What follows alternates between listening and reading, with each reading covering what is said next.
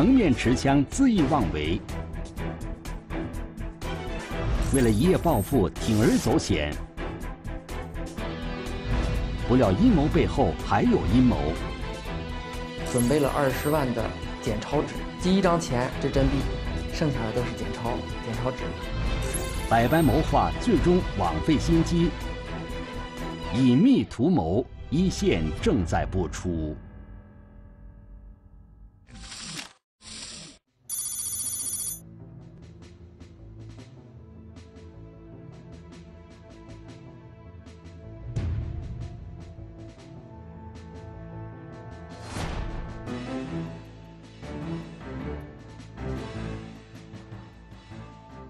就是两个两个男的，就是戴着口罩，还有帽子，都是黑色的，不给你大脑反应的时间，就是直接人家就是掏出掏那个枪，我正好我在前面，就逼着我们就是往后往后撤。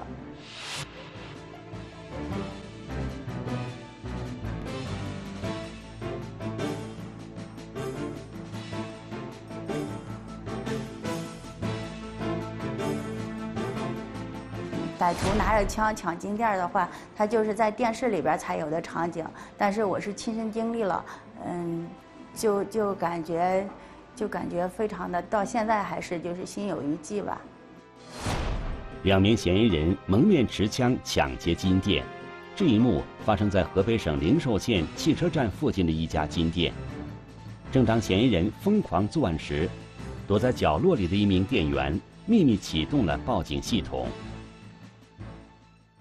当时那个就是我们那个保安直接过来，就是嚷了一声，就他嚷了一声，这两个人就直接往外跑，他就是在后面一直追他们。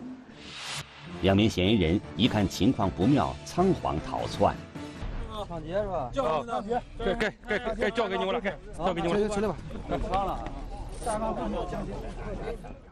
抓获了其中一个，另一个，嗯，身体比较健壮，也比较瘦，所以说这个被抓这个同时呢，那个得靠跑的靠前一点，那个跑走了，逃跑了。被抓获的这名嫌疑人叫杨进昭，河北省高邑县人。杨进昭说，抢来的黄金首饰都在逃跑的那名嫌疑人身上，而那个人的真实身份他却并不知道。叫什么名字？叫什么名字？就在外面追他们，他们就没没应该他就没有这个时间去骑着摩托。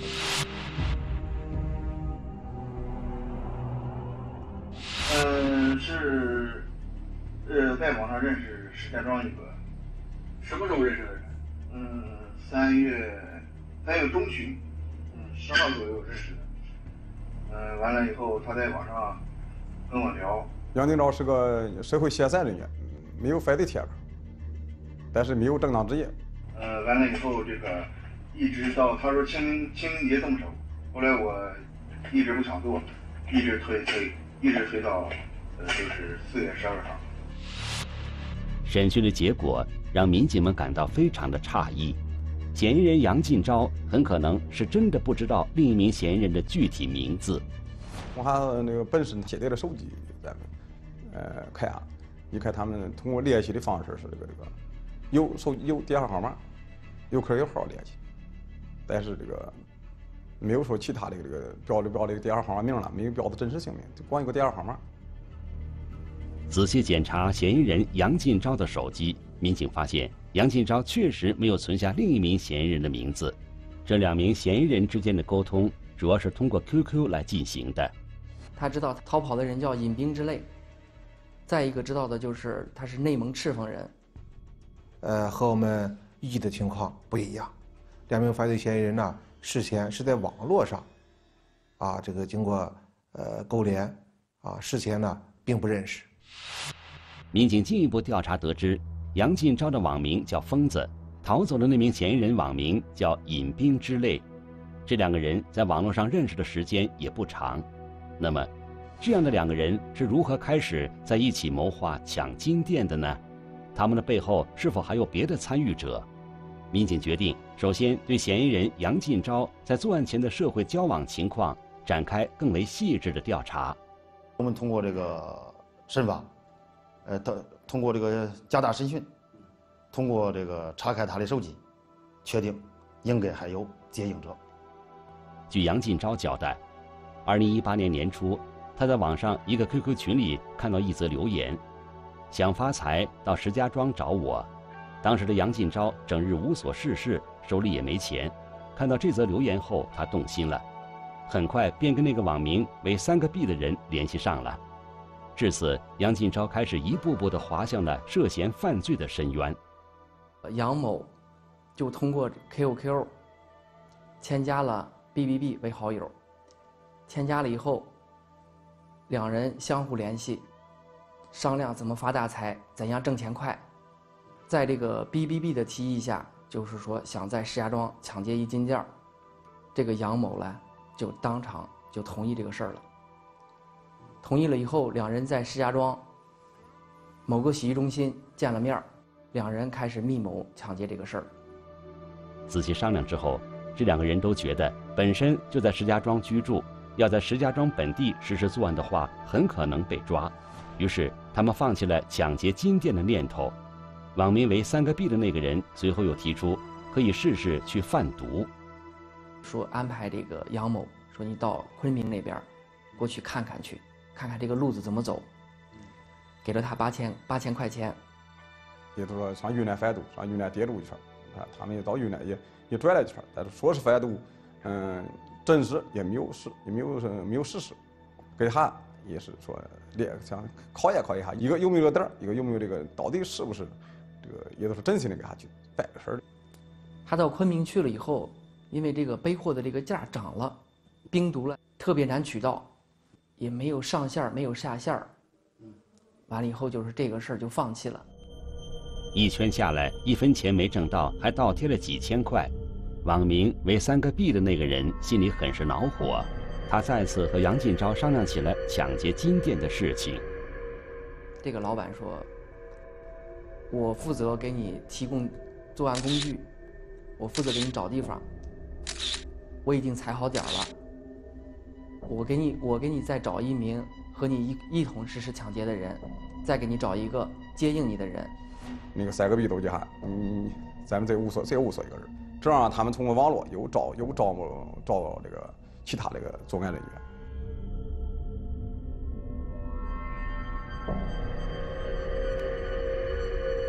走了以后呢，他们在这个走投无路这个群里，同时这个赤峰男子，他叫饮冰之泪，他也在这个群里。他在这个群里发了两条信息，发的第一条信息就是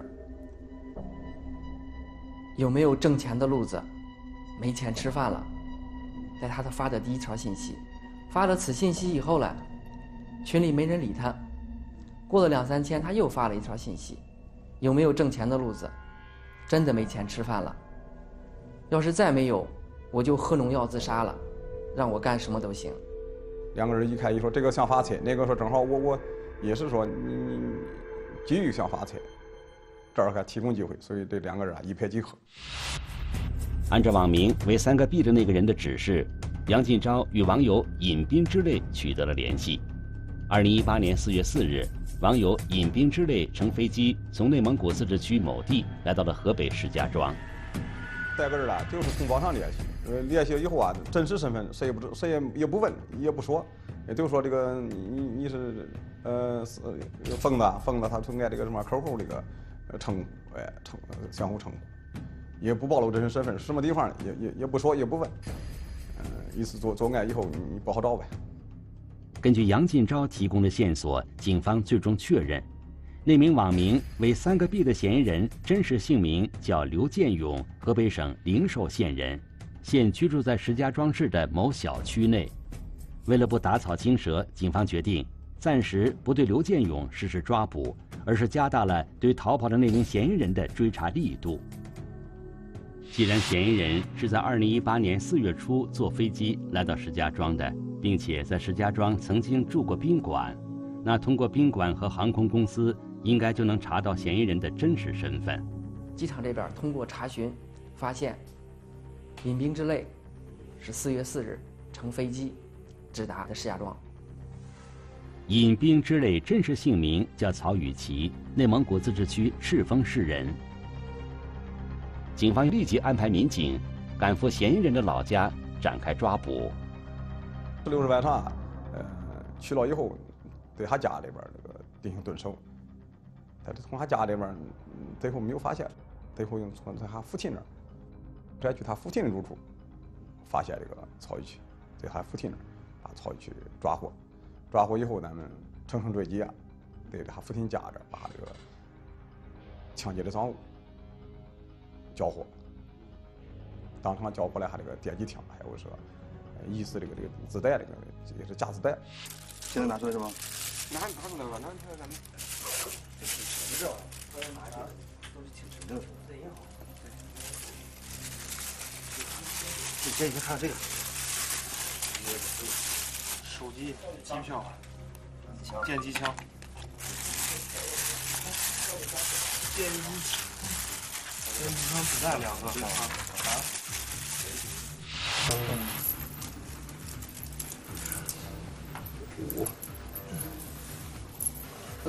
说的不是这样。那那行，那我知道，那我就告诉他，啊。没，肯定是没有的。你刚才我虽然说是没有的。我安置的，我就送到安置的。然后告诉你啊。是对吧？对对的，那就是这些东西有标签的，哎。在抓捕曹雨琦之后。另一组民警也成功控制住了之前掌握的另一名嫌疑人刘建勇，在隔壁里边，呃，通过工作，一个锁定他，呃，叫这个刘建勇，一个锁定还有另一名犯罪嫌疑人，跟他一块来的叫蒋某，叫蒋涛。经过咱们呃分析、调取监控，最后锁定的是蒋某。咱们怀疑他至少两个人参加。这样在内蒙咱们抓获这个曹某以后啊，石家庄这边收网也到了机会了。所以说，咱们，呃，十八日立刻收网，将这个刘建勇和蒋涛，呃，迅速抓获。蒋涛和刘建勇曾经是狱友。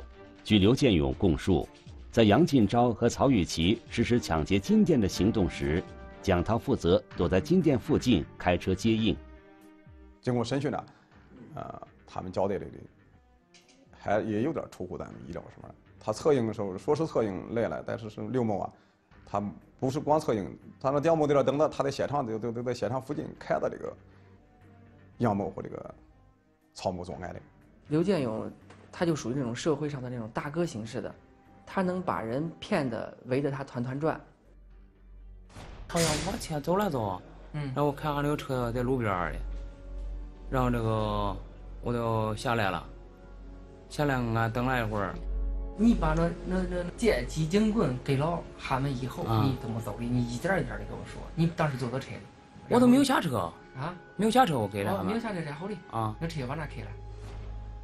把都开到化肥厂门口那块了。嗯，然后的。然后掉了个头。嗯，然后的。掉个头，往往那走了一截。嗯。停路边上了，俺们。嗯。嗯，杨涛他那个车。不是在那个化肥厂那边了，我给他打个电话，我家往南挪了挪，在那儿歇了一会儿，啊，歇了歇了一会儿，那时候看那个那个那个那个谁那那杨金昭跑开了都，嗯，哎呀，一看着这我家那出租车都走了，我给那个成龙打个电话过来接我。呃，刘建勇啊，这个本身是个这个累犯，也是个惯犯。呃，从年轻人都也从十七八的时候就开始入室盗窃，多次被公安机关打击处理，不务正业，都是还是从网上这个这个招募，招募都说这个发了客户群，哎，都是通过网络联系认识，认识完了认识以后，呃，见面，呃，商谈这个作案的过程，逃跑路线，呃，作案的工具，包括这雇佣人员的费用。通过调查，民警了解到。刘建勇的父亲是当地一个有名的企业家，家庭条件非常好。但是，优越的生活条件并没有让刘建勇成长为一个有责任心、对社会有益的人，他反而从小就经常突破法律底线。就是这个刘建勇，他在群里面也发信息了，他发那个信息是在石家庄这人说有活干，后来我就开始跟他聊，就这么着跟他认识的。杨金昭找的我。正我俺们都这个商量商量，说这个说抢个金店抢金店就叫我个提供，说这个这这个，就这个防震枪，还有电棍，嗯，一个摩托车，都叫我这个，然后完了以后负责销赃，他们就抢了。刘某是这些发起人，他发起了以后，他这个属于组织者，他属于组织者，让那个杨某和这个曹某去实施的。最后接应的时候，又就让那个蒋某负责画下接应。民警经过多方调查，已经确定刘建勇就是实施这起抢劫案的幕后策划人。而刘建勇之所以极力推卸自己的责任，主要是因为他觉得这种临时组成的犯罪团伙，各个成员都不知道相互的真实身份，实施作案后可以一跑了之，警方无法掌握确凿的证据。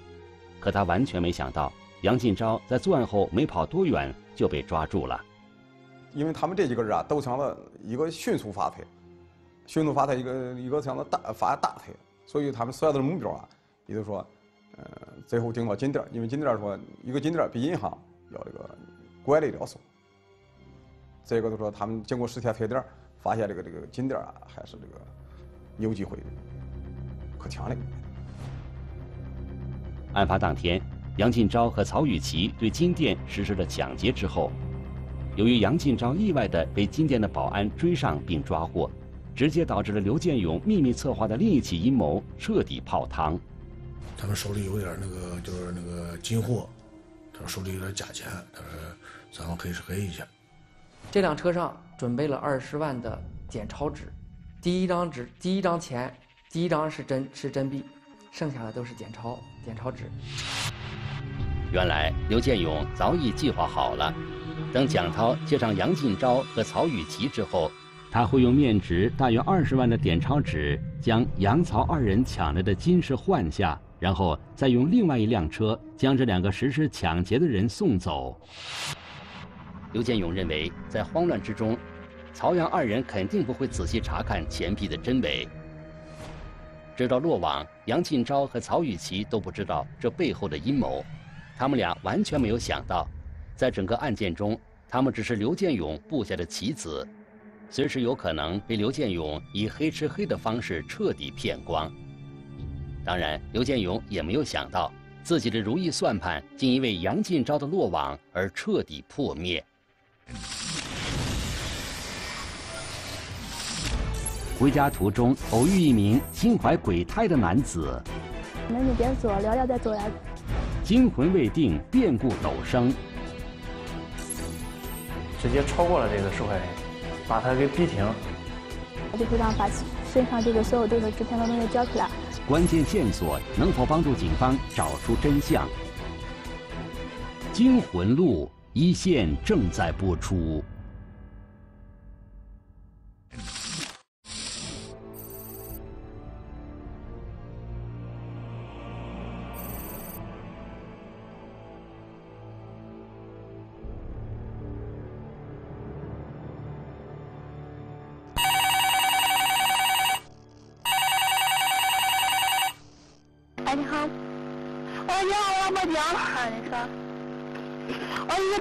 抢劫的，一个抢劫的，怎么回事？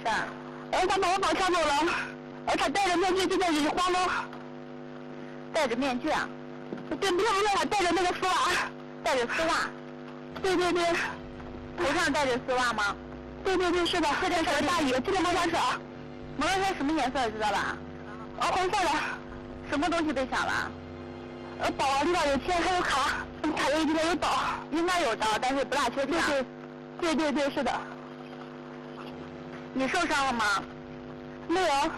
一月十九号，呃，中午十二点刚过，我们指挥中心呃接到了一起报警，呃，一名女性，年轻的女性，报警称她在我们县城边缘的一个村里面，嗯，被一个蒙面所谓的蒙面人，呃，骑着摩托车，呃，抢劫。眼前这个姑娘名叫小平，刚刚经历了让她心惊胆战的一幕。这天中午，小平下班之后，像往常一样沿着村外的小路回家。由于前一天忘记给电动车充电，他骑的车子很快就没电了。对，没电了，走的特别慢。着急吗？当时？当时是没什么感觉，就想就是慢慢悠悠的回家。他当时选择了一条那个比较偏僻的土路，这条路呢回家比较近一点，赶时间。当时因为可能是，然后在这条土路上呢，周围都是那个空地，呃和那个坟地，附近没有住户。在拐进这条小路之后，走出去没多远，小平就听到背后传来摩托车的响声。当时我还在和别人就是用手机在在聊天，然后没没那个，然后就是感觉就是后面有就是有那种摩托车过来的声音，然后向后就是向后瞅了一眼。看到摩托车的驾驶员，小平以为只是普通的过路人，他并没有太在意。就是我在就是那个路的拐弯的那个口头见到过这个人。然后他是就是半坐在那种那个摩托车上的，就是一只脚是放在地上的。后走他身边的时候，他看了我几眼，然后我就也就是瞅了一眼就过去了，没在意。然而，当摩托车追上小平，马上就要擦身而过的时候，小平意识到了危险。然后就看到，就是就看到一个人，就是穿那种嗯军大衣，就是那种绿色的军大衣。然后骑着摩托车就是，嗯，就是他的就是脸是蒙住的，应该是用就是类似那种丝袜的东西蒙住的，就只能看到一双眼睛。然后当时是心里是比较比较害怕的，比较慌的。这名蒙面男子骑着摩托车从小平旁边超了过去，同时冲着小平说了一句让他惊恐万分的话。大概意思就是，嗯，就是美女别走，聊聊再走来。嗯，当时应该说一下子就懵了，呃，可能是惊吓也是不轻。紧接着，蒙面男子又做出了更让小平惊恐的举动。到了一个比较空旷的地方呢，直接超过了这个受害人，把他给逼停。然后就是他就是把我就是那种逼停了之后，就就是就是让我就是让把身上就是所有都是值钱的东西交出来，然后还有威胁说，嗯，就是老实点然后之类的，然后说。嗯，他就是，嗯，嗯，就是前两天刚，就是刚囊死一个女的。没等小平反应过来，嫌疑人就朝着小平扑了上来。然后我真是当时真的是脑子一片空白，真的是懵了，我没没没有说什么。然后因为我的那个包是在右边是背着的，然后他就正好在是在这边，然后他就是说完之后也没也没说什么，然后就是一把就把包夺过去了。就在路的中间，哎。把受害人这个随身携带的包，呃，还有一部分首饰等物品，呃，全部抢走，很快消失在这个这个受害人眼前。等嫌疑人逃走后，回过神来的小平第一时间选择了报警。因为当时手机是在我在我手里的，然后我就打电话，然后就直接报警了。当时他往哪个方向走的？嗯，他是直向向。向东，因为那条路他是看不到头的，他就我就直只知道他是向东走，看不到他向哪拐的。因为毕竟案发的时间，他是白天，而且是中午，呃，一虽然说是在村边，但是也是比较靠近村里面了。这个时候我们感觉到大白天发生这个事我们感觉到不可思议。光天化日之下发生蒙面抢劫的案件，这件事几乎轰动了整个县城，民警压力倍增。呃，一些年轻的在外面打工的这个这个女性来说，她们就说这条路我们还还敢不敢走？我们以后出去的时候，我们的人身安全能不能得到保障？啊，甚至有人说，那这样的话，我们小孩呃孩子要是单独出来的话，我们是不放心的。接到报案后，郯城县公安局立刻组成专案组，第一时间对案件进行侦破。案发现场位于郯城县郯城街道西南的一条小路上。我们及时的呃组织人员对现场进行了这个实地的视频勘查，呃，我们发现可以为我们所利用的监控，无论是天网还是民用监控，呃，可以说非常非常的少。还很小野外吧，还是比也是在县城的一个南部偏一点，就说它监控不是多好。案发前后几乎没有行人路过，想要找到更多关于嫌疑人的线索很难。因为农农村嘛，他那个中午干活，呃，很多人在外面打工，他就在打工的地点或者是其他地方就吃饭了，而且现在也不用接孩子，呃，小孩子都在学校里面吃。这样的话，呃，回村的，呃，经过这条路的人应该说是非常非常少，嗯，没找到目击证人。为了尽快推进案件侦破，民警一方面尽力安慰受到惊吓的小平，另一方面也试图从小平那里得到更有价值的线索。他说他被抢了一个米白色的斜挎包，说包里有现金四五百元，还有身份证、驾驶证，还有这个因为女同志比较爱美，还有很多她的化妆品都在里面。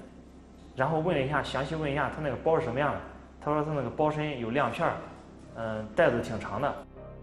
由于事发突然，再加上嫌疑人丝袜遮脸，小平并没有看清楚嫌疑人的长相。不过，经过回忆，他还是给民警提供了一个重要信息。这个受害人呢，他反映了一个这个很关键的信息吧，就是说这个摩托车的前挡风部位，那个那个坏了。这条信息成为警方追查嫌疑人的重要线索。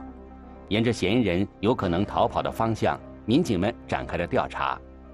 受害人反映，这个嫌疑人作案之后驾驶摩托车向东逃窜，向东的话就一直到了我们这个县城的二零五国道。道路应该说还有其他的道路，应该是比较难走。呃，他逃跑的方向应该是比较宽阔，而且是比较便捷的路，呃，就是很快可以到达主路的这个道路。如果嫌疑人驾驶摩托车向东逃窜，那么沿途的重要监控卡口处一定会留下嫌疑人的身影。于是，警方安排一组民警沿途进行追踪。我们最终逃跑方向的一个呃小路口，我们发现了我们天网上安装的一个监控探头。这个时候，我们就成功的捕捉到了呃嫌疑人逃跑的这个画面。这是一段路面卡口监控录像。画面中的这个人穿着一件军绿色棉大衣，但是并没有头套丝袜。我们及时的与受害人进行了联系，让他过来呃进行辨认，通过那个视频进行辨认。经过一番那个仔细的辨认之后，他他所说的这个嫌疑人的特征以及车辆的特征，嗯，与我们所抓获的，就是捕捉到的画面中的嫌疑那个这名男子。无论是车辆还是这个人员衣着，都有比较高的相似度。调取这个卡口数据的时候呢，就发现这个嫌疑人驾驶车辆前挡部位露出了一个米白色的包，那个包带子也很长，和这个受害人描述的非常的相似。如果画面中的这个男人真的是嫌疑人的话，他在作案之后又逃到了哪里？在随后的调查中，民警有了收获。我们最终在他逃跑的方向，呃，这个某一个路口，我们这个从天网的镜头，我们截获到了一个比较理想的画面。同时呢，这个照片也能清楚的拍到这个这个摩托车的车牌号。我们又通过车牌号调取呢车辆的主人。此人名叫许斌，一九七八年一月出生，山东省郯城县人。二零一二年，因犯寻衅滋事罪被判处有期徒刑。二零一三年刑满释放。他之前那次寻衅滋事呢，就是晚上十二点以后，躲在大路边上，等着有下班的那种女性同志骑电车的，用石头扔人家。每天晚上都这样，持续了很长时间。我们那时候蹲守蹲了很长时间，所以对这个人印象很深刻。许斌有重大的作案嫌疑。此刻，许斌又在哪里呢？民警对许斌所居住的村庄及周边进行重点走访和蹲守。当时我们先是根据追踪他这个追踪他这个车辆轨迹，确定他这个车牌号之后啊，呃，查到他这个户籍地址的具体地方。当我们到这个嫌疑人家的门口，嗯，进行去实地查看的时候。我们发现他的门是虚掩着的，通过门缝，我们发现他家里面刚好有一辆，呃，红色的摩托车，而且这辆摩托车与我们画面中所捕捉到的，呃，嫌疑人驾乘的车辆是吻合的。民警们决定正面接触许斌。见到许斌，民警迅速将意图逃跑的许斌控制住。在许斌家中，民警从衣柜顶部找到了小平被抢走的女士挎包，在一个白色塑料袋里找到了属于小平的化妆品等物品，还有部分现金。当我们发现我们进行询问的时候，发现这名男子表现的极不自然。我们刚开始询问的时候，他就立马就破绽就出来了。他说：“我没有持刀，我没拿刀，我也什么都没干，我什么都不知道。”这个时候，我们实际上我们心里面就有数了。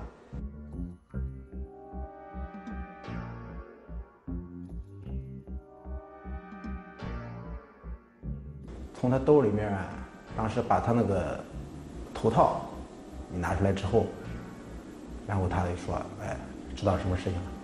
他觉得也藏不下去了这个事情。”我就恨来了啊，恨恨这这手这手。在许斌的口袋里找到了他作案时套在头上的丝袜，在证据面前，许斌承认自己就是抢劫小平的嫌疑人。在城外一处河堰下面，民警找到了嫌疑人扔掉的一些证物。因为那个河堰也很偏僻，附近都是大田地。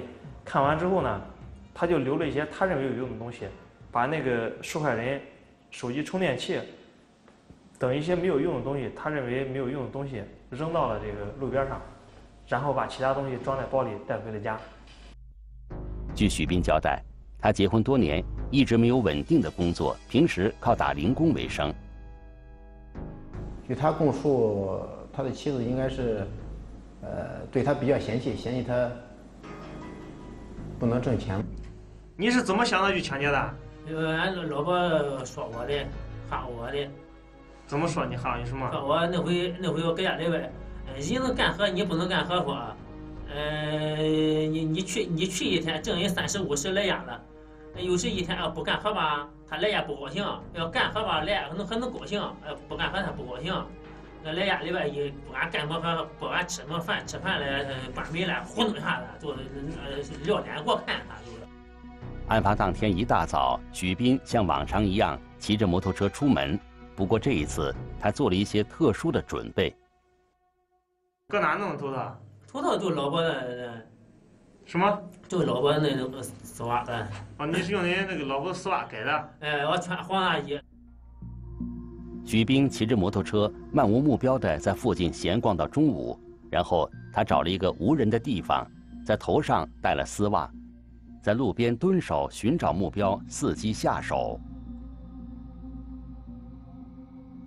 骑车在回去的路上，就是到了那个比较偏僻的土路上。应该就是物色这种作案的对象，然后正巧发现了这个这一个单独呃单独走路的这个女女同志。我走走过过去人，我坐在骑骑摩托坐在后边。嗯。我我到他前面，完了到他前面，我一坐下，坐下把坐下，我一一一乱了，他他车他他那个电车呀调头了，调到东西也是靠河边坐在。对不个有个小河那有河河边那些了，叫我一下来我，你要钱要命，不我捅死你，我我捅死一个了。我让我吓唬吓唬他，就一句话，什么没有抢过，拿着走了。徐斌作案后迅速逃之夭夭，他没想到这么快就被警方抓获。面对类似的案件，办案民警们对经常独自上下班的年轻女性给出了建议。一个就是我觉得就是。你在下班的路上尽量是结伴而行，是吧？第二个呢，就是尽量走大道，不要围着，是吧？走抄小道或者走便路，方便现在是不安全的。第三个呢，我觉得尽量的就是，呃，夜晚要不要自己单独出行，呃，避免这些事情的发生。二零一八年四月二十五日，许斌因犯抢劫罪。被郯城县人民法院判处有期徒刑四年，并处罚金人民币三千元。